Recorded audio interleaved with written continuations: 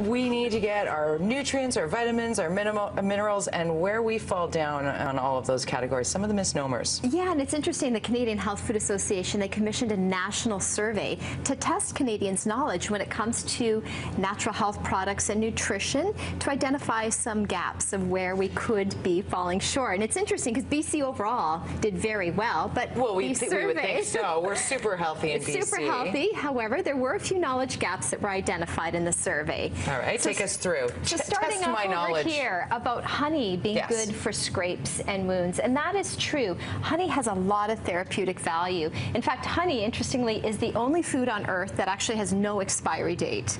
It's naturally antibacterial. You can put it on scrapes and wounds. In fact, a University of Guelph study found that it was just as effective as some medications, some creams and ointments for healing the skin. I did not know until right now that honey was good for scrapes and wounds. I thought sore yes, throats. Yes, sore throats. You were right. Calming a cough, scrapes and wounds, and you can also use it to clean your skin and as a mask. In fact, right. if you go to the Canadian Health Food Association website, chfa.ca, there's a do-it-yourself honey skincare mask. So you can check that out. To love those honeybees. Yes, okay. there is. Vitamin C. That's what I'm guessing Vitamin we're going C. on next. Vitamin C can ward off the common cold. True or false? True. A lot of people think it's true. However, that has not panned out in large clinical studies. Really? Now, vitamin C, all is not lost when it comes to vitamin C. It does have a lot of important value in supporting the immune system, but there isn't enough evidence at this point to say that supplementing is going to cure or prevent the common cold. It may right. shorten the severity or duration. It's also great for your skin, great for your heart, connective tissue, collagen production. If you're not getting enough through diet, then consider vitamin C supplements, but loading up on citrus, kiwi, also a great source of vitamin C, and, and shopping in your local health food store will give you some great options to boost your vitamin C if you need it. I take vitamin C daily because I take iron, and I've been uh -huh. told you got to take yes. the C with the iron. That's right. That's vitamin C right? increases iron absorption. And where are we going here? Okay, so now fiber and probiotics.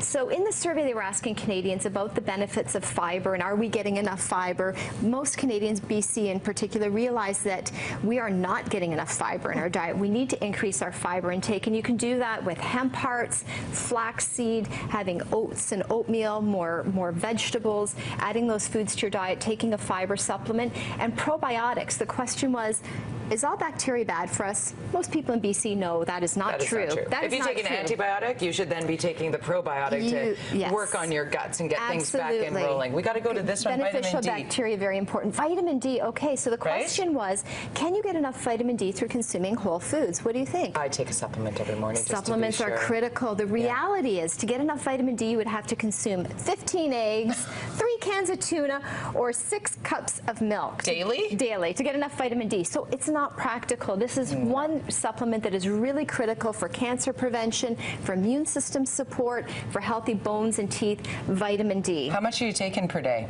Can well, you do too much? You know, you can do too much. Yeah. The the recommendations, most healthcare professionals recommend at least a thousand international units of vitamin D. Some go up higher, two, three, four, five thousand. The important message is to check with your healthcare consultant, right. your Make natural sure products advisor. What, that's a good yeah, point. Yeah, absolutely. So we've only got 30 seconds left, so. Okay, so we're talking about um, organic, let's talk about organics because organics are so important. And the question was posed about whether consuming organic products, can that reduce pesticide exposure?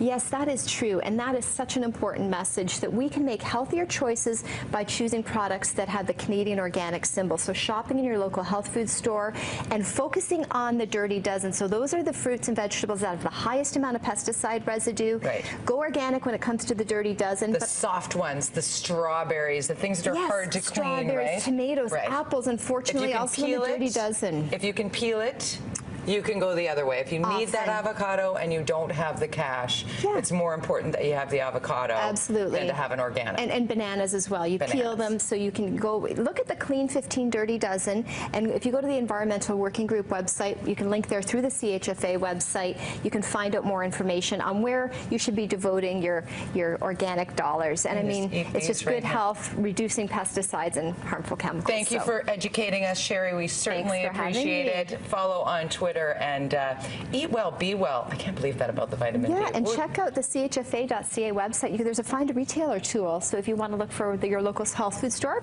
you can type in your postal code and there you go.